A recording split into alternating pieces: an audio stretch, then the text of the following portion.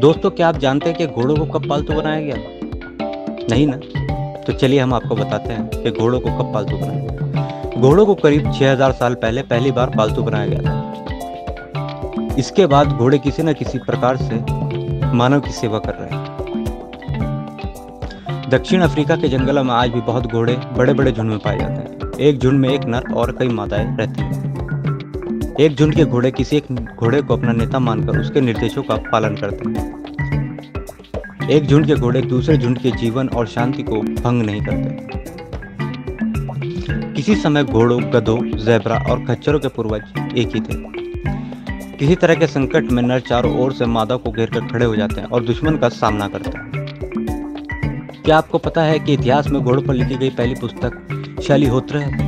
जिसे शैलीहोत्र ऋषि ने महाभारत काल से भी बहुत पहले समय में लिखा था। आज से छह करोड़ साल पहले के घोड़ों का कद केवल चौदह इंच और वज़न मात्र साढ़े पाँच किलो था। इसे हियोहिप्स कहा जाता था। आज के घोड़ों के एक पंजे के मुकाबले हियोहिप्स के अगले पैरों में चार उंगलियाँ और पीछे वाले में तीन उंगलियाँ होती थी।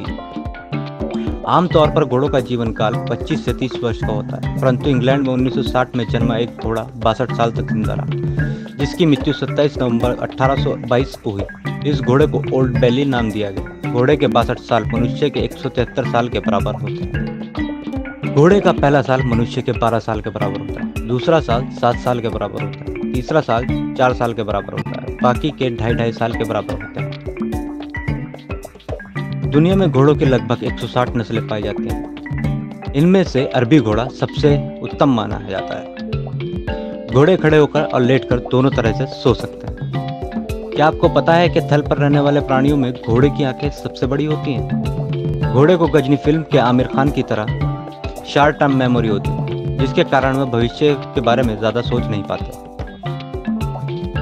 चलिए अब बात करते हैं घोड़ों की आँखों के बारे में। क्योंकि घोड़े की आँखें उनके सिर के एक तरफ़ लगी होती है, इसलिए वह एक समय में 360 डिग्री तक देख सकते हैं। मनुष्य के बाल, नाखून और घोड़ों के खुर एक ही तरह के प्रोटीन से बने होते हैं। एक अनुमान के अनुसार संसार में लगभग 6 करोड़ घोड़े घोड़ों को अंग्रेज़ी में स्टैलियन और घोड़ी को मेयर कहा जाता है। घोड़ों के दांत उनके सिर के दिमाग से ज़्यादा स्थान का घेराव करते हैं। नर घोड़ों में मादा घोड़ों से ज़्यादा दांत होते हैं। नर में औसतन 40 और मादा में औसतन 36 दांत होते हैं। घोड़े केवल नाक से सांस ले सकते हैं, मनुष्य की तरह मुँह से नहीं।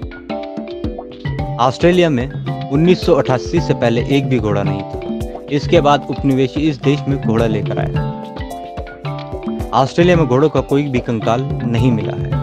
तो दोस्तों, आपको ये हमारी वीडियो कैसी लगी? हमें कमेंट करके ज़रूर बताएँ। लाइक करें, सब्सक्राइब करें और बने रहें ऐसे ही इंटरेस्टिंग फैक्ट के साथ।